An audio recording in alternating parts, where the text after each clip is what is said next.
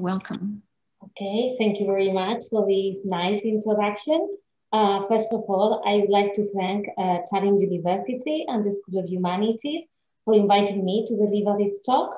Uh, what you can see the title here on the first slide, The Transmodern Paradigm and Contemporary Feminism through, Crossroads. This is the question mark. Um, special thanks are due to the leader of the Gender Studies Group, Dr. Kadri Aavik, and my colleague and friend, Dr. Julia Kuznetski, for her continued support and our fruitful collaboration, as she has just explained.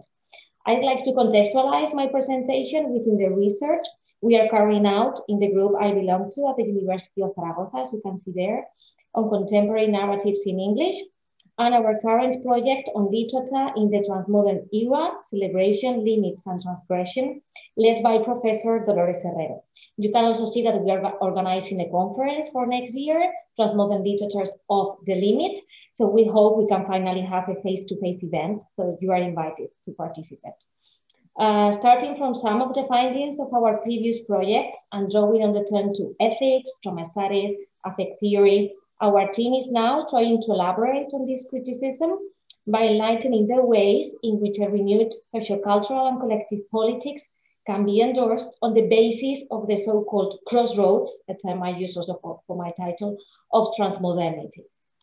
So today I will try to provide an insight first into what the transmodern paradigm implies, to focus on the effects that transmodernity may have on the current feminist panorama, as well as on how diverse feminist movements have shaped transmodernity. I'd like to demonstrate that the transmodern paradigm has itself an original feminist essence since transmodernity incorporates many values defended by contemporary feminism, male intersectional and transnational approaches. I'll argue that the Transmodern project tries to move forward the feminist mission by including in its caring principles both men and women, as well as all living beings on earth. And by revalorizing those caring values that have been assigned to women. Some examples of cultural representations will be offered to explain how the transmodern feminist ethos is giving way to a more relational perception of the world. And finally, I think we could all discuss the question of whether or not the transmodern paradigm can offer some impulse uh, that I think that global feminism needs in the face of today's patriarchal backlashes.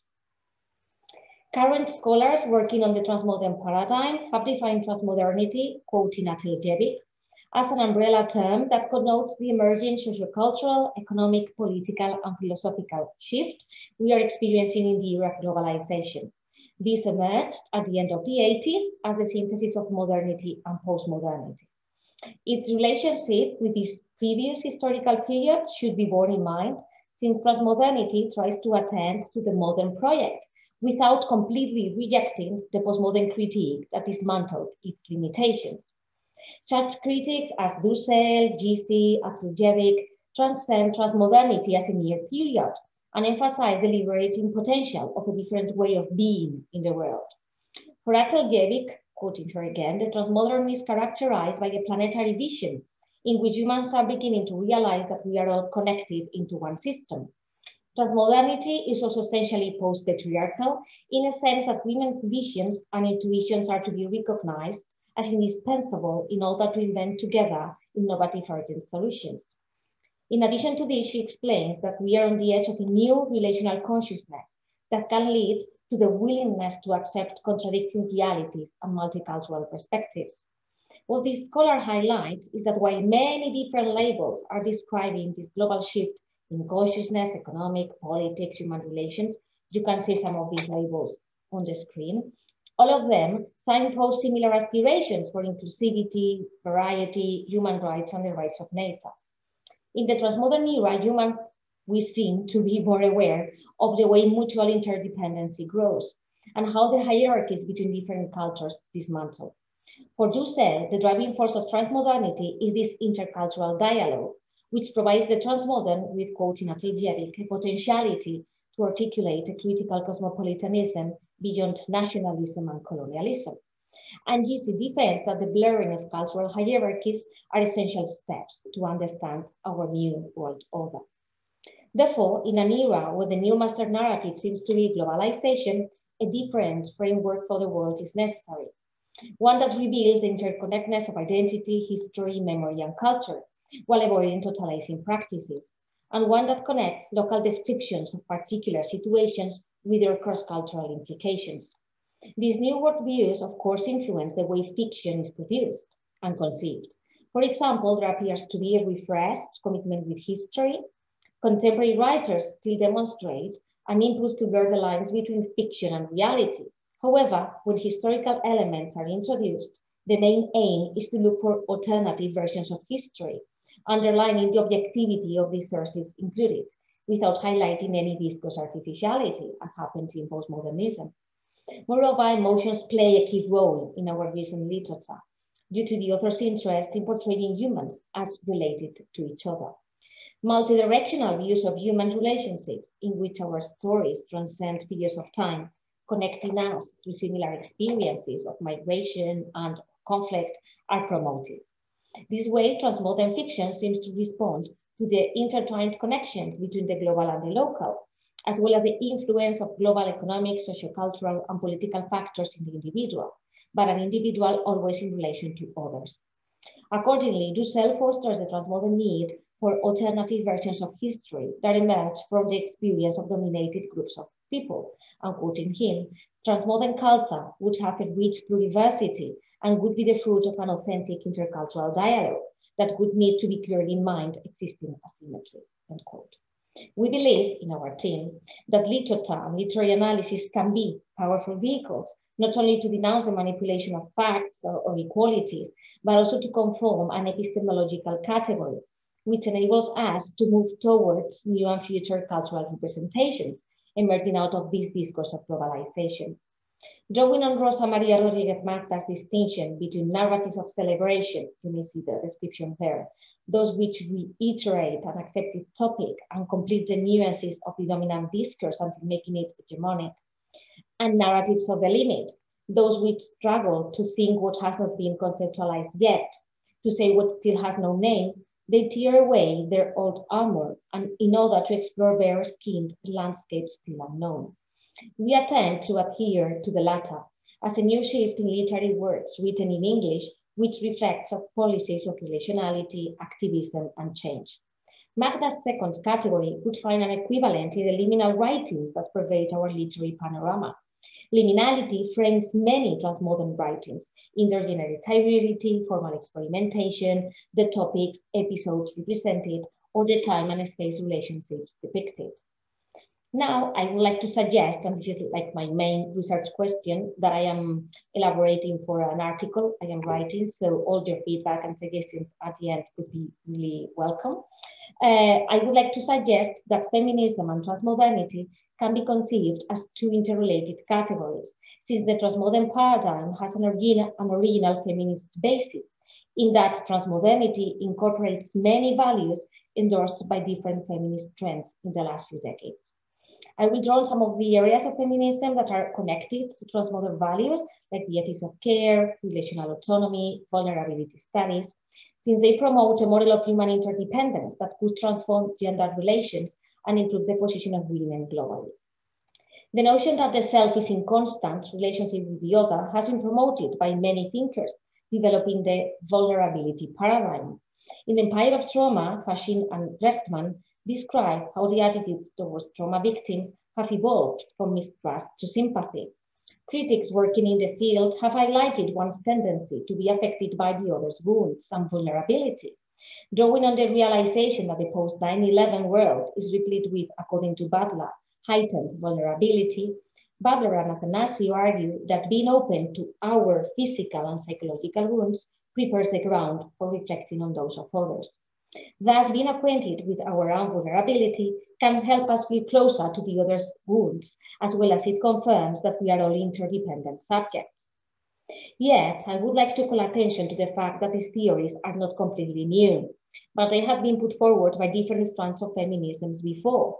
The ethics of care, also called the ethics of love, relational ethics, has its origins in the second wave feminism in the US and Europe and the end of the 60s as a movement advocating the experience of women, quote, in health, as important, relevant, and philosophically interesting as those of men. The ethics of care considers the experience of women in caring activities to be central and emphasizes the values inherent in caring practices as necessary for our societies. It shares with feminist thought the reconceptualization of traditional notions about the public and the private, and the challenge to the traditional subject of morality, a male subject. An important figure here is Carol Gilligan, who already in the 80s articulated the theory of a different female voice, fostering a feminist vision based on solidarity and interconnection. Considering that all human relationships require the emotional endurance ascribed to women, Gilligan denounced that women have often lacked a, voice of their own to represent their experiences. Nevertheless, some feminist thinkers have been suspicious of some of these ideas. Liberal feminists are afraid that it could reinforce the domestic values that have relegated women to the private sphere, or philosophers like Martha Nussbaum think it could go to the detriment of the citizens' freedom, mainly women's. In order to address this problem, feminist scholars developed models of autonomy that could imply the integration of an ethics of care with an autonomous female self, without losing sight of our interdependence on others since we are born. Mackenzie and Stoljar, for instance, have coined the notion of relational autonomy as the conviction that all individuals are socially embedded, not only women, and that their identities are formed, quoting them, within the context of social relationships and shaped by a complex of intersect, intersecting social determinants, end quote. They see autonomy as a set of capacities that can be trained in order to develop some values of self-respect. These ideas also lead us to see intersectional and transnational approaches to feminism as concurrent with the transmodern feminist ethos because of their emphasis on providing a feminist alternative to colonial, liberal, and Western models of thought. Intersectional feminism holds the view that the repression suffered by women must be analyzed by considering the multifarious mechanisms that shape female identities, not only gender, but also class, sexuality, race. More precisely, this term was coined by legal feminist theorist Kimberlé Crenshaw in 1989. She used the metaphor of the intersection to evoke how different identity categories come together when oppressing women demonstrating that those identity politics that were not able to see sexism and racism as intertwined could never include women of color in the feminist struggle. However, the term can be traced back to the 19th century when the tensions between the feminist and anti-slave movements in the US produced central reflections on gender and race. In 1851, Sojourner Truth delivered already her famous speech to the Women's Rights Convention in Ohio, by repeatedly asking the question, Ain't I a woman? She made visible the tensions between herself as a Black woman and the image of women defended by, by white feminists. In addition to this, in Europe, there were socialist women making intersectional claims at the turn of the 20th century. Since then, we can say that intersectional research has greatly developed in politics, sociology, geography, natural sciences. Thus, intersectional feminism may provide, according to Anthias, quoting, a tool for analyzing positions and outcomes produced through the intersections of different social structures and processes, including transnational ones. These aspects point to the connection then between intersectional and transnational feminism. When Alexander published Pedagogies of Crossing in 2005, she defined the field she was working on as transnational feminism, an ideology which evoked international gatherings, anti-imperial and decolonial thought, and post-colonial studies. In keeping with Blackwell, Briggs, and Chiu, we can say the transnational refers to an emergent post-1960 movement, which attempted to center new immigrants along with the new forms of globalization and resistance. Transnational feminism acts as a political tool to analyze women's situations in the global world and provide a feminist alternative to colonial, liberal, and Western models of thought. Although transnational feminism is very popular now, it was Grewal and Kaplan who settled the ground for its theorization in the 90s when they inquired, quoting them, does the new global matrix engender liberatory spaces that deconstruct the old regimes of the nation state? Or does this phenomenon continue the process of uneven development that marked our earlier colonial and neocolonial social formations? This is a question that reverberates in contemporary feminist discourses now. These authors realized that the world was organized following transnational cultural and economic flows, and gender issues were absent in this new world organization. Moreover, Kaplan was also aware of the perils of reinforcing hegemony when trying to deconstruct the powers of oppression. This danger of which we contemporary feminists are still aware. By resorting to what Anthias has reconceptualized as translocational positionality, the practice of considering our local context as researchers, but also the specificities where each category is intertwined in our analysis are located. Another facet that can lead us to argue that transnational claims are not completely new has to do with the formulation of Anzaldua's borderlands epistemology in the 80s, when she argued for the metaphorical in-betweenness of the Chicana identity in the state, States. Anzaldua's claims seem to have inspired transnational feminists to advocate for women's capacity to break down hegemonic binaries and cross international borders in the common fight for equality. Moreover, when reflecting on what is new in today's feminist panorama, Chandra Mohanty has referred to the work she carried out in 2010 by saying that the questions she had then are not, quote, substantially different, although the explicit exercise of power is more visible at this historical moment, unquote. Thus, for Mohanty, what has changed is the visibility of power differences and injustices which has led to fostering new solidarities among feminists of all stripes and colors, quoting her. It is in this context that many contemporary feminists consider that women in higher social position could help to facilitate the growth of autonomy in those who don't have the same opportunities. Solidarity has always been a feminist value per se, and that's why transmodern feminist critics such as Carmen Garcia Aguilar have called for the need to learn to listen to other women so their ideas can be recognized. This philosopher believes in the practice of genophilia as that feminist relational thinking which fosters friendship among women by going beyond their relationships with men and empowering them. These ideas are also supported by feminist philosopher Victoria Sendón de León in her analysis of Touraine's A Nouveau uh, Paradigm. Touraine declares that women are the protagonists of the changes advocated by the New World Order, since they have honed their tools in fighting patriarchal domination for a long time. In addition to this, this the transnational model of relationships, which characterizes transmodernity, may also be regarded from a feminist prism. Carolyn Pedwell gives value, for instance, to the way emotions are reproduced in a globalized world through ever-changing connections. Among these emotions, she focuses on empathy as a fruitful tool to interrogate the transnational forces at work.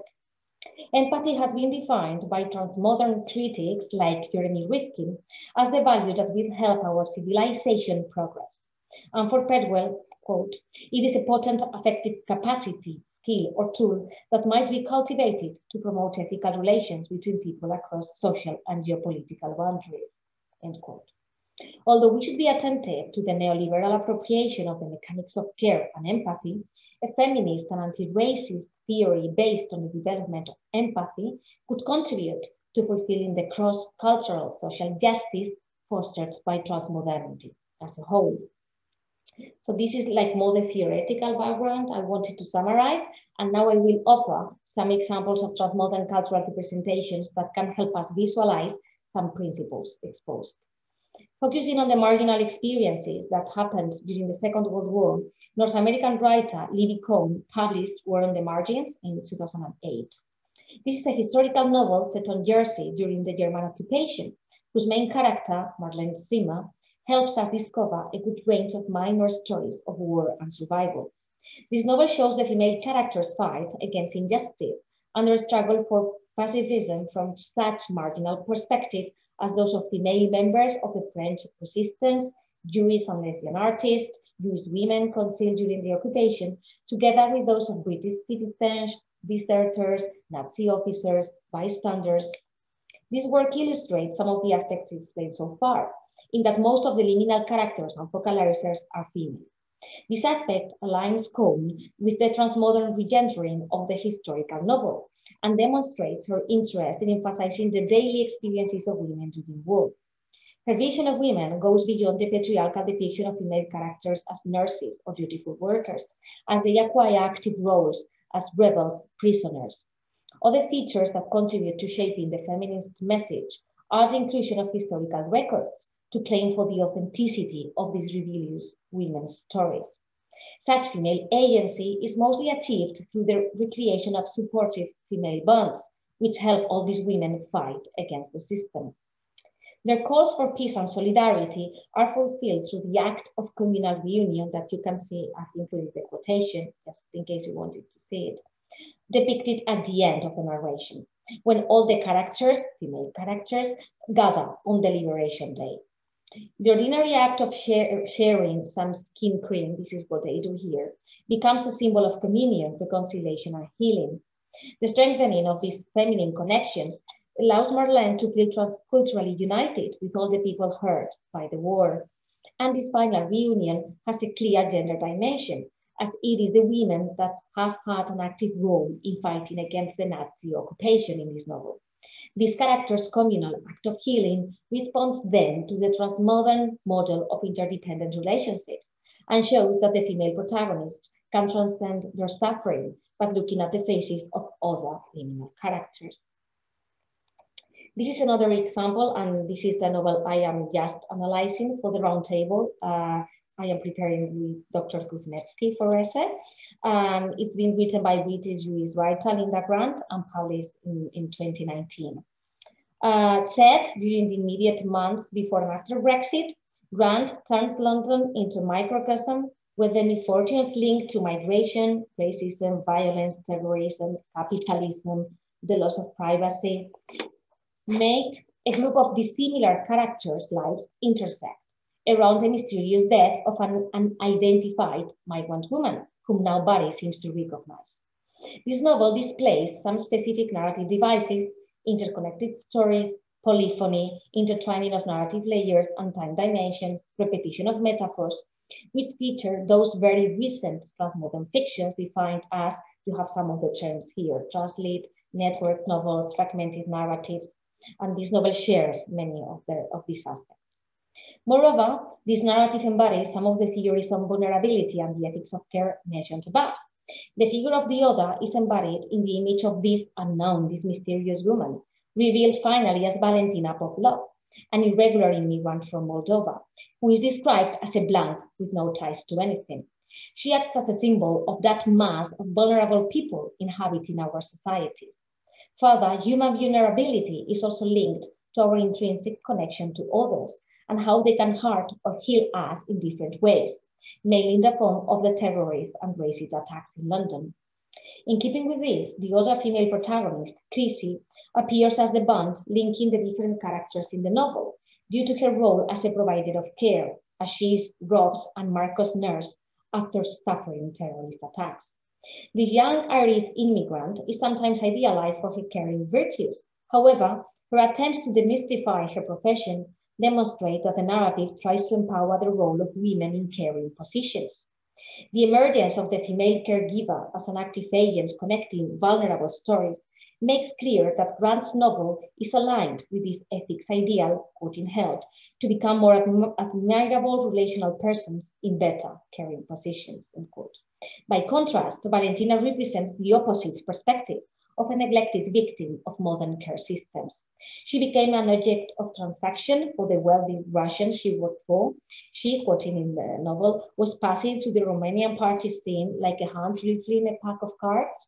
She was extorted by her boyfriend and she was even hated by her daughter.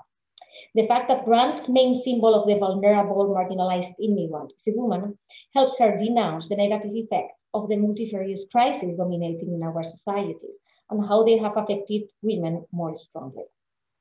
Another popular example, perhaps you didn't know the other two, but I'm sure you will know this novel, is Chimamanda Ngozi Adichie's Americanah, uh, published in 2013. This novel recounts the story of young lovers, Ifemelu and Obinze, when they leave Nigeria for the West. Ifemelu has the opportunity to go to America. She obtains academic success there, but has to fight against a lot of stereotypes. Whereas Obinze ends up living an undocumented life in London. Time goes by and they reunite in democratic Nigeria, calling our attention to the motive of the journey and its implications for current transnational subjects. But also I'd like to pay attention to another transmodern facet depicted by Adichie. And this aspect has also been studied by a member of our, of our group, Violeta Dulce. She's a PhD student. And she has also focused on the fluidity of contemporary migrant identities in the era of technology, the internet, and the social media. Ifemelu creates a blog dealing with race issues in the States, and she becomes really popular because of that. turning her blog into a network of dialogue, support, and empowerment for many immigrant women. This online space fosters the relational feeling of sisterhood and empathy, aimed at by transmodern feminist critics and by giving voice to minor stories of women. Moreover, graphic novels can be also fruitful sites where women symbolize their hybrid and transnational identity. An interesting example would be that of Willow Wilson and Adrian Alphona's Miss Marvel No Normal, where the protagonist, Kamala, a second generation Pakistani immigrant grown up in the States, acquires supernatural powers. She receives a power that the media do not usually offer to anyone from her background, and she uses it to save people while wearing patriotic American colors. By deconstructing deeply rooted stereotypes about the Muslim populations in America, this fictional character may change people's assumptions about Islam and Pakistani culture. This graphic novel acts then as a fruitful platform where transitionality and transnationality are depicted from multifarious female perspectives. Drawing on some examples mixing up the world of the cinema and literature, Hulu's TV series The Handmaid's Tale and Margaret Atwood's sequel, The Testaments, need to be mentioned.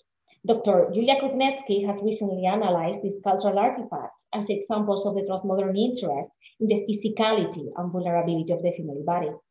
In her contribution to the special issue on Beneath the Waves, Feminisms in the Transmodern Era, co-edited by my colleagues Barbara Arizti, Silvia Martinez, and myself, she explains that in both the series and Atwood's sequel, the female body appears as a site of social construction, vulnerability, and control.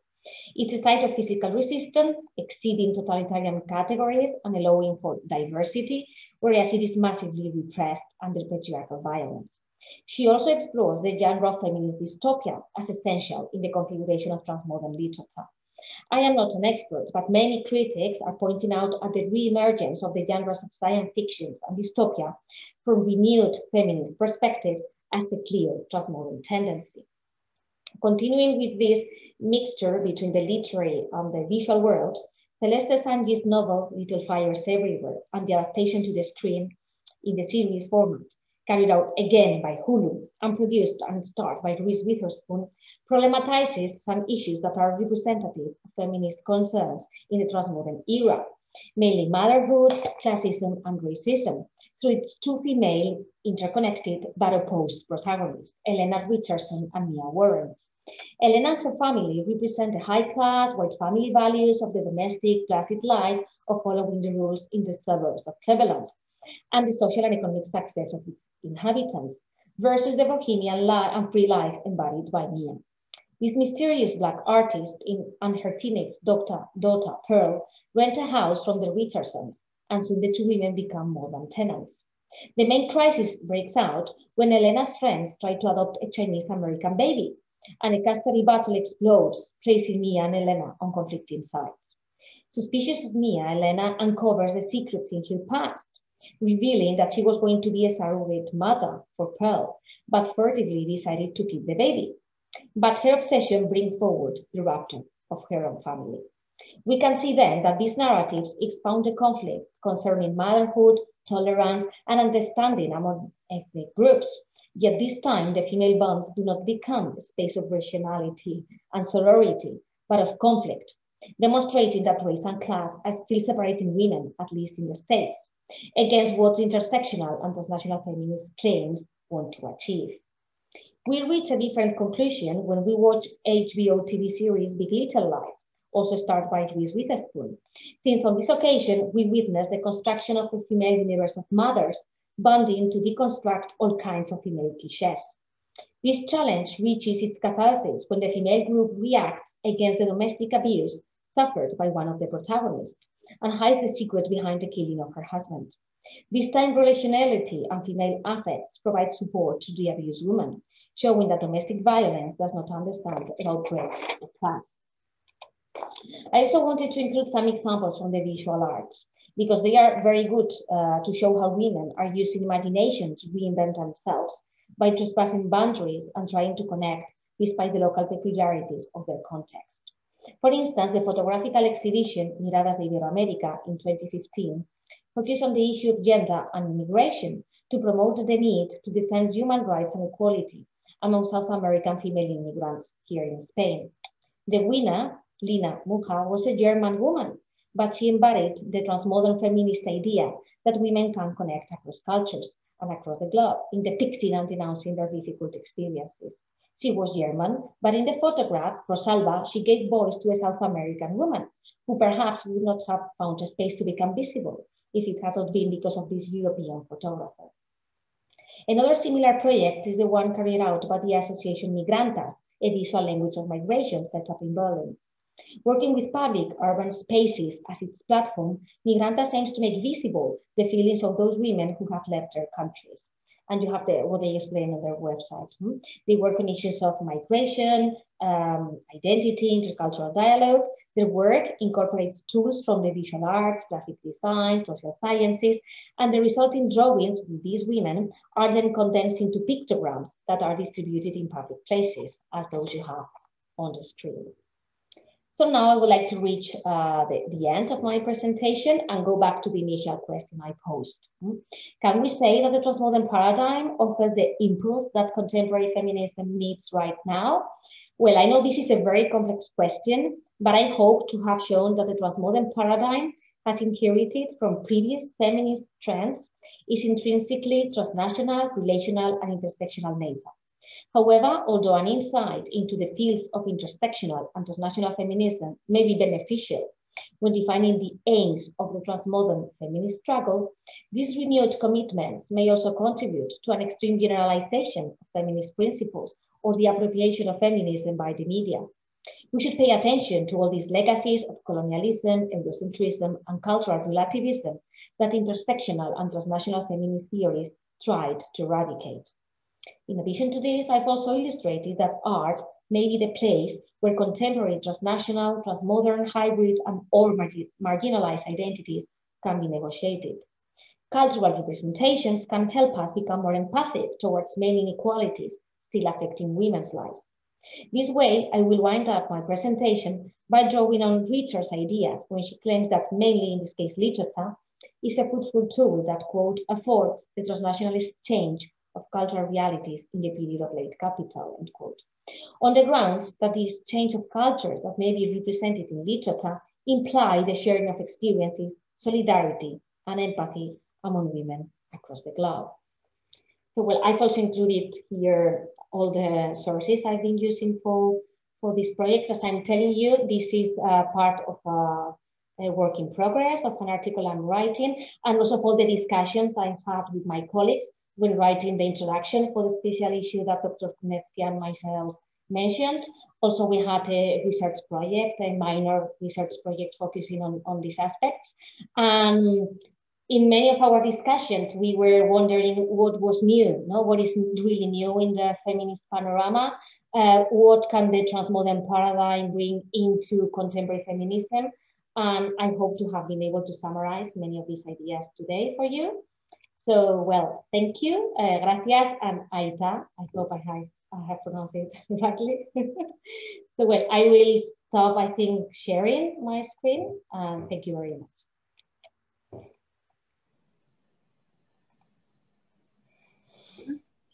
Well, thank you, Silvia, for this very rich introduction and uh, ample food for thinking. And now uh, I would like to ask our bright uh, PhD student, Ksenia, to uh, have a discussion with you and ask questions and, and maybe we'll all move towards what you have been asking in the research questions and provide some new ideas on, on the topic.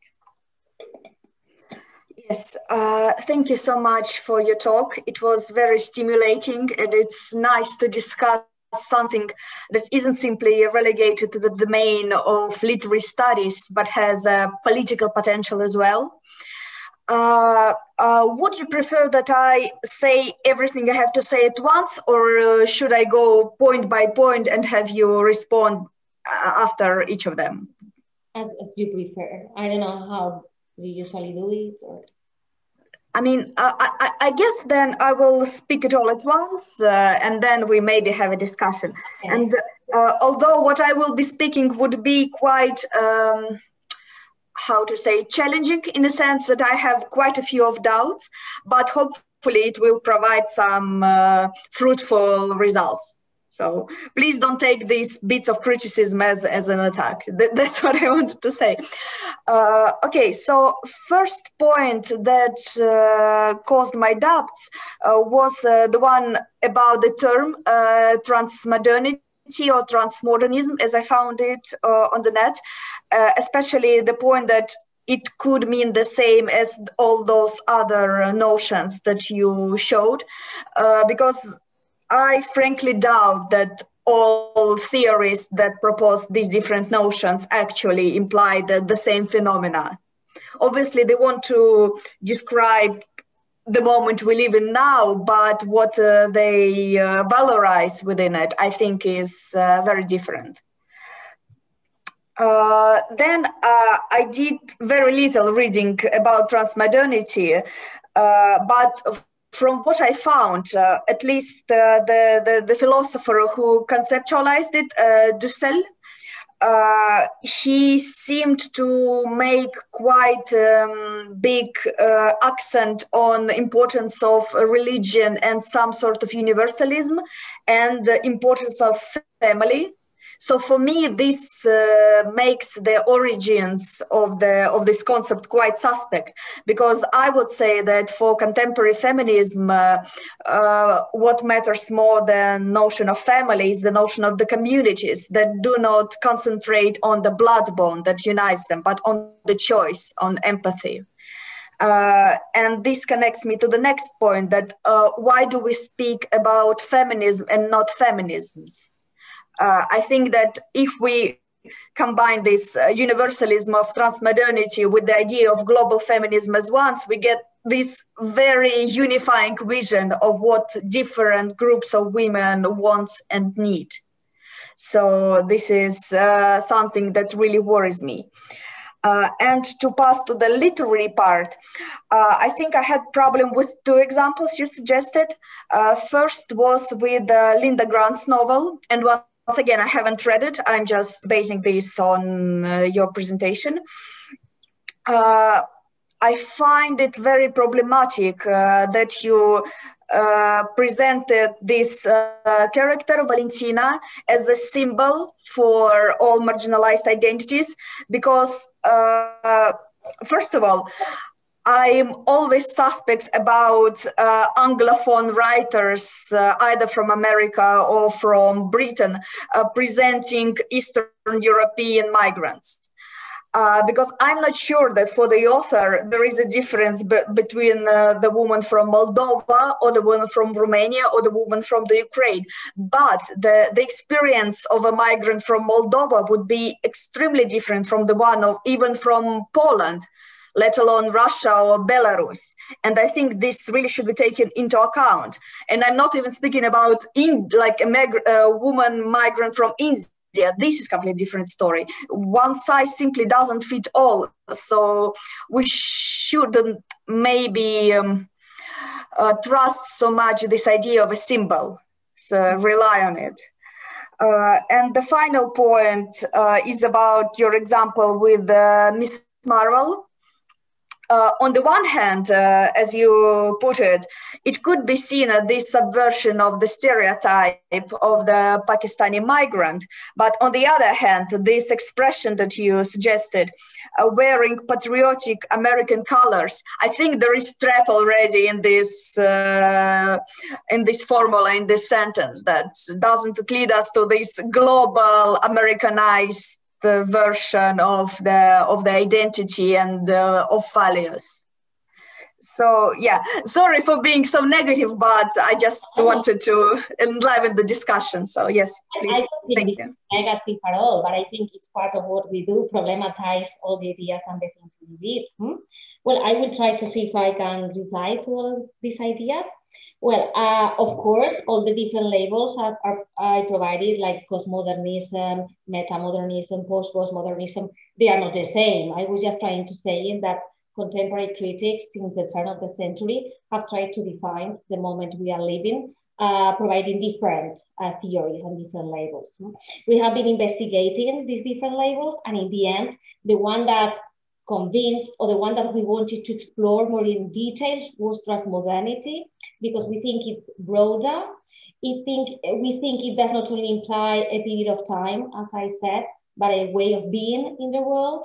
And also the way we discovered uh, transmodernity uh, was not mainly through Dussel, but we did it um, from a Spanish philosopher, uh, Rosa Maria Rodriguez Magda, uh, we can say that yes, Dussel is there, is one of the first authors pointing out trans, uh, at transmodernity, but also this Spanish philosopher, uh, when already she was starting to publish about this period at the end of the 20th century, beginning of the 21st century.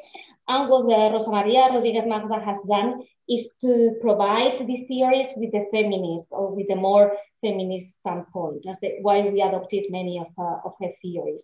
For instance, she has recently published a book. The things that she mainly publishes in Spanish, although we have some translations. For instance, my colleagues organized a conference uh, some years ago. Um, you have an interview with uh, Rosa Maria Rodriguez Magda in, in English. So at least uh, some of her papers are translated into English.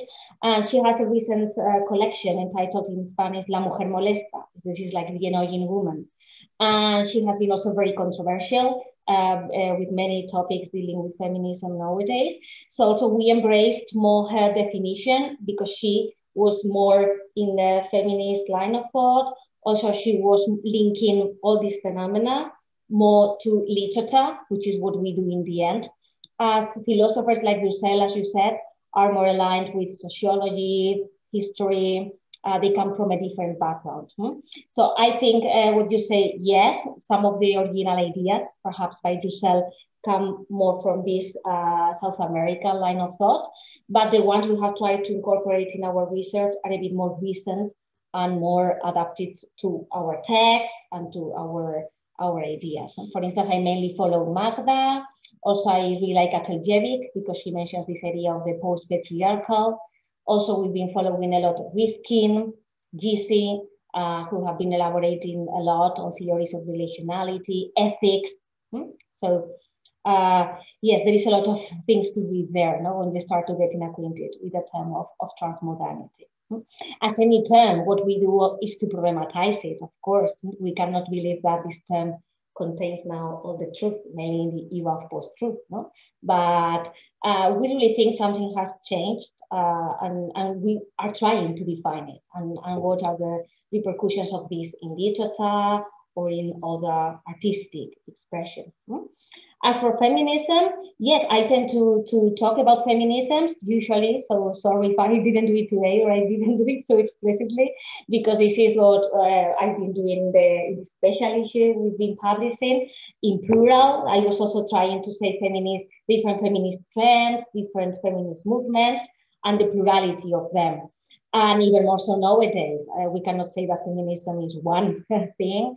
Or when I was quoting Mohanty, you know, that says that now uh, feminism is uh, all full of stripes and colors. So it's really um, it's something really plural. Also, when we were um, uh, researching uh, for this special issue, uh, in which Julia is also collaborating, for the introduction, we were reading and we were problematizing, well, this is a different aspect, but I just to, tell you about that, about the concept of the waves, no, the feminist waves. And we even reached our conclusion that perhaps this periodization of waves is not so accurate, or uh, we could use a different terminology because in the end, different feminist movements, they are also cross-connected across time, and they cannot be so easily separated uh, in different periods or in different waves. That's why the collection is entitled Beneath the Waves, because we think that the different trends uh, that we have in feminism nowadays go back to some of the ideas I was mentioning today from the past, while looking at the future and trying to address some of the problematics of the present. So yes, this idea of plurality is of course there and, has to be. Hmm? Uh, well, thank you very much for your comment on Grant's novel. Um, well, the thing, the author, um, I don't know exactly what kind of research she did, but she's um, She's a third Jewish, uh, British Jewish uh, immigrant. And she has a long expertise. She has published a lot also in dealing with aspects related to Jewish migration um, and these issues. So uh, I cannot say really she, for her, is different to be from Romania or Moldova, but I know she's entitled to talk about these issues because they have affected her personally. Uh, her grandparents were in the Holocaust. So I don't think she does it for any kind of commercial marketing purposes, but she's always, she's always been really interested in memory, in the idea of transgenerational connections. This novel is really different because it's the one that is more contemporary, uh, addressing the consequences of Brexit, as I, I, was mentioning before. And yes, I think, well, I didn't have time to explain about this novel because I have just written a paper of 9,000 words about this novel and it's difficult to summarize. With the idea of the symbol, I wanted to say that the, it's very important in this novel that the two main female protagonists, the two of them are immigrants, but how differently they are portrayed. More like they embody, if not symbolize, perhaps uh, that word hmm, may be more problematic.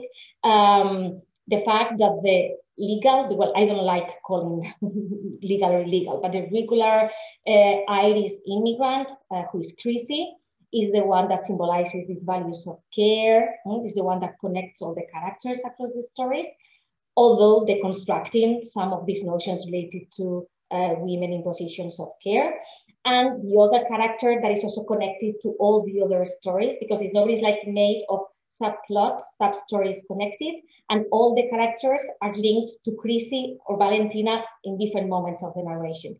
So that the other woman, who is the irregular, or the one that doesn't have the passport, uh, her papers, is the one that ends up killing herself, and the one that doesn't have a, a, proper name. So I think the novel really problematizes this aspect of, uh, in a, criticizes this aspect of who has the right to be entitled legal or illegal immigrant, and how our societies are not paying attention to all these women who um, don't have their papers or you know are more like anonymous, unidentified. Mm? And in the case of Miss Marvel, yes, I think there is a clash uh, there is a contradiction there uh, between a character that mm, seems to be subversive, but also trying to look as much as American as she could, you know. But I think this is the clash we find in many in many transnational narratives or immigrant narratives. No? This this conflict between belonging, uh, not belonging, wanting to belong, and I think this is what really deserves attention in narratives like this to analyze that that, that clash, that collapse you know, of the two directions. No? I think I mentioned all these things. yes, thank you so much. You, you made it very clear. And uh, thank you in particular for this clarification of uh, Grant's position on it, this makes it much more uh, in depth. Yeah, now I really want to read the novel myself because, yeah, this juxtaposition of two types of, yeah, thank yeah, you. If, if you read the novel, also you have in the background, you have these stories connected, blah, blah. Uh, you have the deportees and the asylum seekers that in this case, in this novel, they are like imprisoned uh, in boats in the River Thames. So it's like the concentration camps or the different camps we have nowadays for the refugees in Greece. In this novel, they are in London and they are in the background. And also this idea is very important that in the end, at least Valentina was found uh, she had an identity, but then you have a mass of uh, subjects who seem not to be no, who seem not to be important. Or uh, also, I've been relating these ideas to the ideas of the grievable lives, the lives that matter, those that don't matter. You know, Judith Butler, Zygmunt Bauman. Uh, so all these ideas are there too. Mm.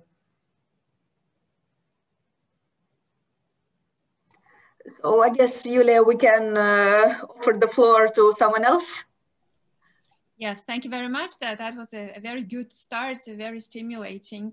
Uh, so anyone who has any questions, please, or interventions or ideas or continuation of what uh, Ksenia has started, please um, take the floor. Silvia, if I, if I may, um, so I would like to go back to this term transmodern. Obviously, terminology is always problematic since there are so many synonyms and different concepts. Uh, and this is something that you started with, say, mentioning postmodernism. but you never somehow explain the difference in your in your position in your paper how is transmodernism or transmodernity different from postmodernism because later you started listing features of what i consider pure postmodernism this uh, you know uh, multiculturalism and subversion of stereotypes and all kinds of playfulness. So how, how is transmodernism different from postmodernism? Well, in practical terms, uh, for instance, in fiction, uh, you can see that in postmodernism, history uh, was deconstructed, or this idea that history has to be at the same level as any other kind of discourse, fiction, and mainly um, this was made more in a for from the playfulness perspective. You find this, no? But now, when you have historical novels uh, from more the transmodern perspective or paradigm, um, they want again to, they still see history as discourse, but they are trying to look for some objectivity. It's not that they try to turn it upside, upside down. They are trying to look for some kind of real, uh, well, real, you know, in inverted commas, but some uh, marginalized mainly stories, stories that belong to minorities that have not been heard before.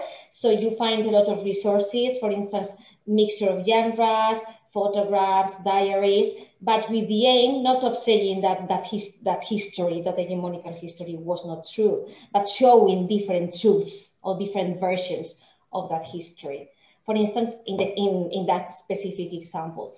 But I think in what this term of transmodernity, maybe this is what Magda explains, is like a synthesis, if you follow Hegel's idea no, of the synthesis uh, in history, that um, with transmodernity, uh, philosophers, critics, or what we are seeing in different cultural representations, are trying to go back to some of the ideas of modernism, of the importance of the, of the subject and the recovery of our human essence, all that.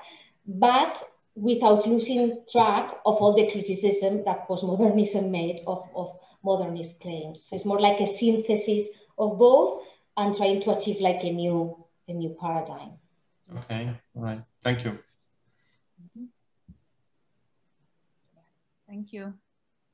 We always, I think, with when you go for one of these terms, wow, this generates a lot of discussion, you know, also with the idea of trans uh, you know that now it seems to be also very fashionable to apply this prefix to any kind of criticism or theories. We've also, we discussed also a lot, uh, maybe at the beginning of our project, we had a lot of discussions about, about this. And as I was telling you, it, what is really new and we critics, we always, we try to define the moment we are living in and thinking that everything is completely new when it's, it's not. And, but well, we can go back and see how I, the ideas of some decades ago are now more or less visible. How, there is always something that has been changed. It's not completely the same.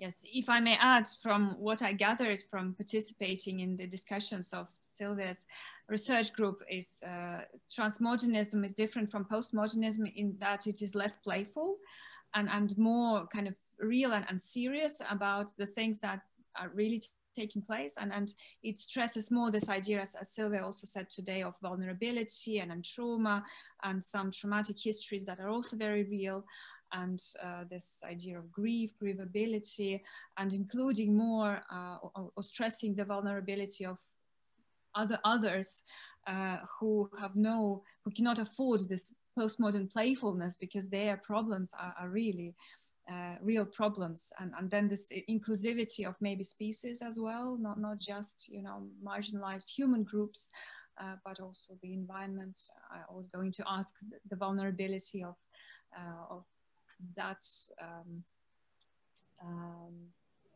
additional you know um, corpus of consideration mm. how much is it there in, in transmodernism? Yeah also we had a lot of discussions because well sometimes transmodernity and some of the philosophers seem to be like too um, optimistic about all the fruitfulness of this intercultural dialogue uh, inclusivity. When sometimes you look at our contemporary world and we don't seem to see all these all these things. Also you have to be careful with that and don't uh, let yourself be so carried away by this optimism and try to problematize it all the time and see uh, and be careful mm, with appropriating many of these ideas.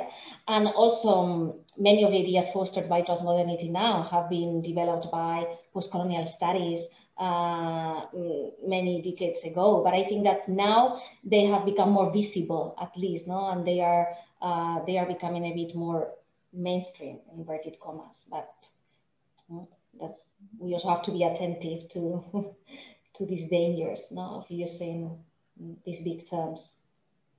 Yeah, I think it is. It continues what uh, Ksenia just uh, raised the issue of uh, not seeing different ethnic groups as having similar experiences and, and not yeah. as a symbol. This combination, hybridity, anything goes. The, these are more the keywords for postmodernism. Mm. Transmodernism, it's looking at precisely at the experiences and vulnerabilities of others. Yeah, I think that it goes very well with intersectional feminism or transnational feminism because of that, no? Because eh, from an intersectional perspective, you are supposed to take into account all the different factors that can make a specific woman or a specific group of women be oppressed and to try not to gener generalize, as, as you said. Hmm? Or this translocational positionality that we as critics have also to be aware of how, by using some concepts, we can be contributing to the Eurocentrism or westernization that we try to avoid. So I think, yes, all the time we should have this critical eye with us in order not to be uh, carried away by the isms. Yes.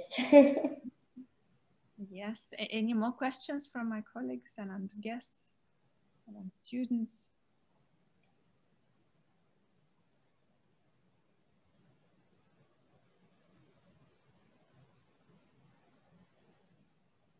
or comments?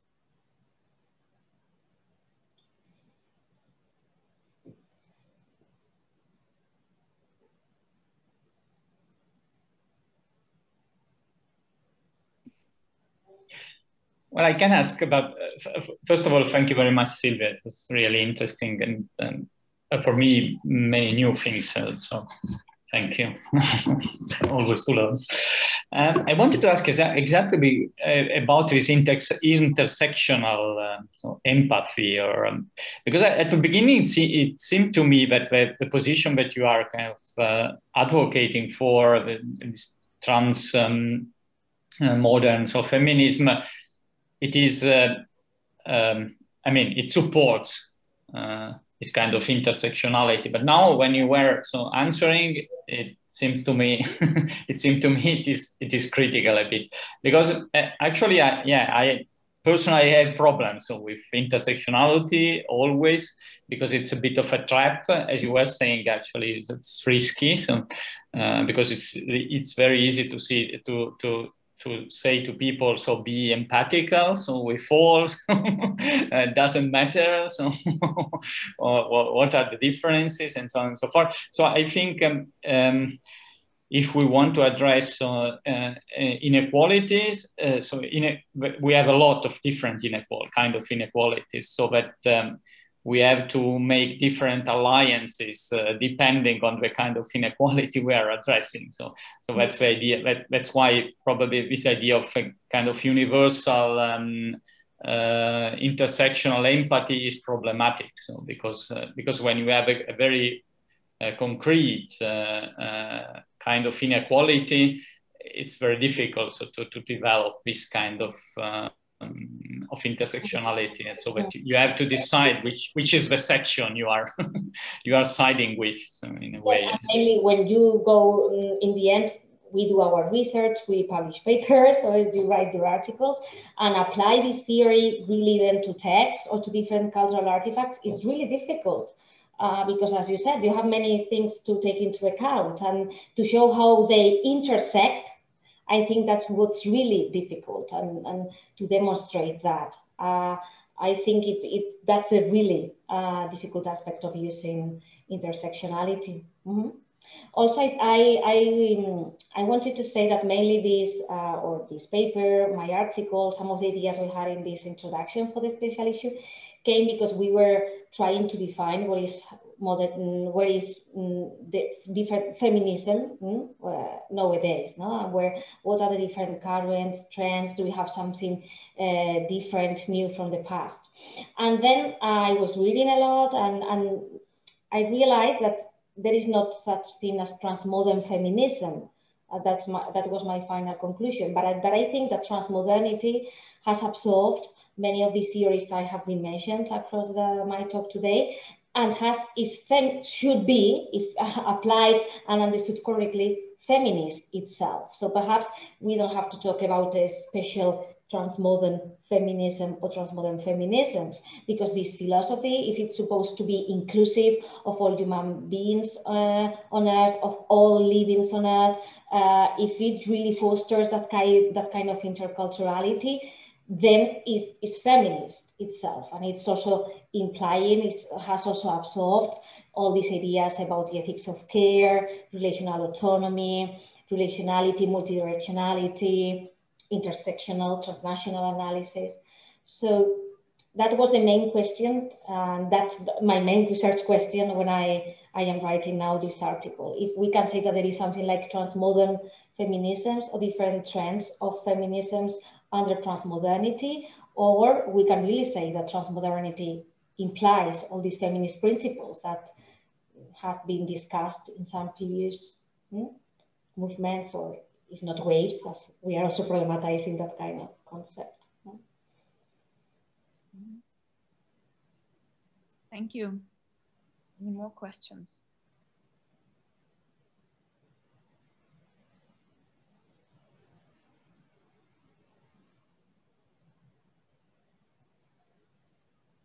You say that this uh, includes all living beings on earth uh, maybe it's a bit provocative, but what is the place of men in this discourse? Does it imply male version of how to, uh, what, what, could be the attitude? You find in our team, we finalize some, some works by men that are really uh, purely transmodern, like David Mitchell, uh, Cloud Atlas is a typical example.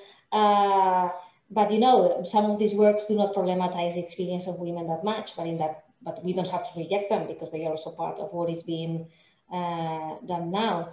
But I think that really, um, with these patriarchal backlashes I was mentioning at the beginning, we have a problem. Uh, we, as we have some groups of men that have been threatened no, by all these movements, Me Too, or different feminist movements across the globe.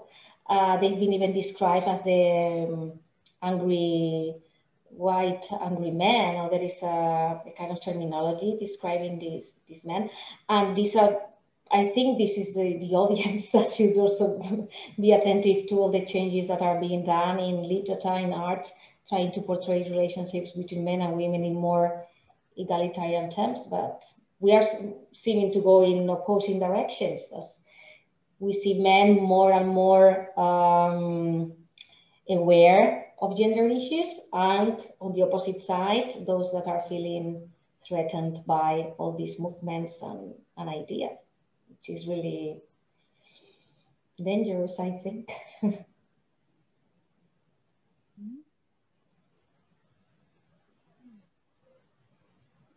Thank you so much. So any more ideas, including remarks? arguments, questions.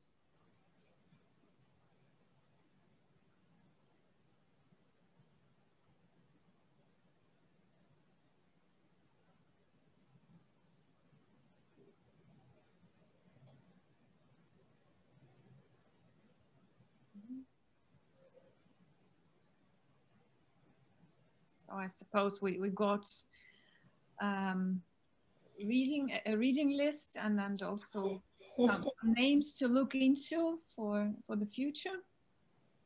Um, then yeah, but for the reading list, uh, sorry, uh, you maybe uh, send it somewhere so uh, so we could share it. I don't know, so how uh, so everyone could get it. Sorry. Yeah, that is. I think I didn't have the work cited in that version, so I could send you the new one if you want to. Mm -hmm. Yes, if, if you if you send the works cited, that that would be good. If anyone wants to continue researching and, and reading up on the transmodern paradigm, that would be great. Yes, so Kadri is, asked, is thanking uh, for the fascinating talk. Uh, I'll read it. I could not actually participate because taking care of a 10 week old baby, so that much about combining uh, work and, and motherhood. And thanks everyone for coming. Uh, so she's sharing the website. You can see it in okay. the for our gender group.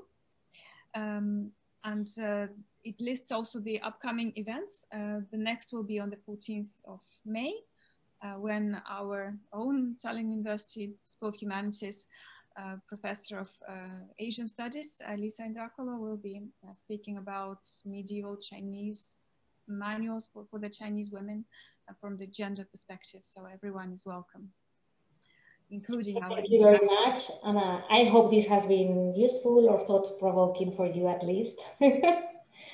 and still, well, as I've told you, there's uh, much work to be done uh, in this line. So let's keep on working on that. yes. So thank you very much, Silvia. Let us keep in touch. Thank you everyone for coming. Have an enjoyable weekend and see you at our next seminar. Thank, Thank you. you. Thank you. Bye. Writing, thank you for making it smarter. These are words.